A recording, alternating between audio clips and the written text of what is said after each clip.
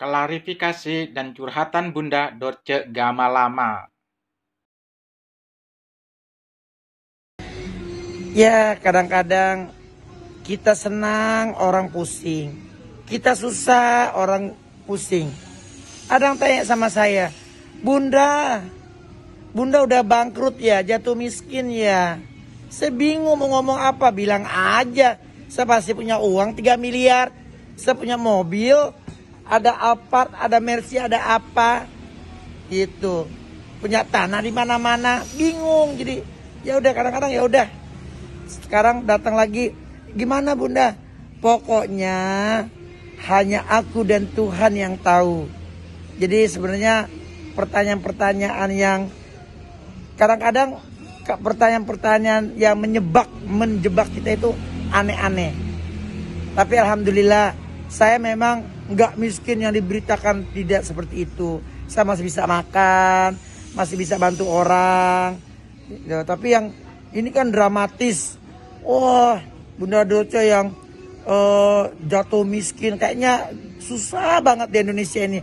Eh, hey, Indonesia itu paling enak loh sama tetangga kita baik aja kasih telur sama kecap enak banget jadi saya mau kerja sama Raffi itu pun bukan kemauan sapa-sapa anak saya saya kepengen kerja sendiri jadi nggak usah diusilin biarin aja lah saya mau kerja di pembantu kek mau jadi asistennya Pak Presiden juga mau nanti siapa tahu habis jadi supirnya Raffi Ahmad saya jadi supirnya Pak Jokowi ya Pak Jokowi ya kita kan nggak pernah tahu nasib orang nanya mulu jatuh miskin. Siapa yang jatuh miskin? Duit saya ada 3 miliar. Duit siapa? Duit orang. Mobil saya banyak. Mobil siapa? Mobil orang. Gitu. Begitu ya. Jadi teman-teman uh, infotainment, teman-teman uh, online ya. Kalau nggak langsung dengar dari saya, jangan diambil cepat keputusan-keputusan yang belum pasti. Saya kan orangnya bisa bercanda, ya. Jadi tolong saya sebenarnya malu begini-begini. Saya urusannya sama Raffi tapi semua pada ikut. Ngapain sih? Kepo banget, heran ya Allah. Mau kerja salah. Emangnya saya harus ngemis-ngemis? Saya mendingan kerja daripada saya ngemis-ngemis. Ya? Oke? Okay? Bye-bye. Assalamualaikum Bunda cantik. Eh, Waalaikumsalam Karota. Ayo ngapun sih Bun? Ada yang renung. Ayo ngelamun? Enggak. Kadang-kadang kalau lihat nyinyiran orang tuh suka capek. Tapi sudahlah namanya juga kita kan mantan public figure. Jadi masih dicari-cari wartawan. Kenapa cuma nanya oh iya bun.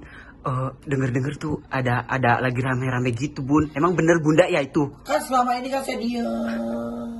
Nggak rame-rame. Begitu rame-rame kan saya kalau bikin yang cuan biasa kan males. Makanya tapi emang ini semua udah jalannya udah jalannya saya harus ketemu Raffi, harus bekerja sama Raffi, Raffi udah terima, udah. Jadi apa yang harus di, uh, di, di, di diributkan? Toh saya tidak merugikan orang, justru orang-orang itu yang mancing-mancing, oh bunda daya, bunda dulu tuh jatuh miskin lah, melarat sebagainya. Akhirnya gue punya pikiran, aduh kenapa gue gak bikin berita? Ih, siapa bilang gue miskin? Duit gue banyak tuh. Ber, miliar berliar di triliun triliun triliun. Duit siapa coba? Duit siapa? Duit siapa? Duit rakyat Indonesia. Mobilnya banyak. Punya Mobil siapa? mobilnya Raffi. Terus simpenannya banyak. Simpanan siapa? Simpenannya gigi. Saya bekerja sama dia. Jadi nanti kalau digaji syukur nggak nggak apa-apa. Udahlah. Pokoknya nggak ada yang indah berita untuk saya. Biasa-biasa saja. Mendingan kejar-kejar tuh berita-berita yang hangat yang yang viral. Sama nggak bisa biasa aja. Orang cuma mau jadi supir aja rame banget. Pokoknya pasti saya udah terima sama Raffi. Raffi terima kasih banyak. Udah kasih kerjaan. Mau berapa hari mau berapa minggu mau berapa bulan nggak pernah tahu. Pokoknya kita ngejalanin aja yang niat uh, saya sama Raffi. Insya Allah mudah-mudahan kesampaian. Itu aja. Assalamualaikum. Eh ini ketinggalan. Makasih ya Bunda. Sehat terus ya Bun. Iya, aduh ketinggalan.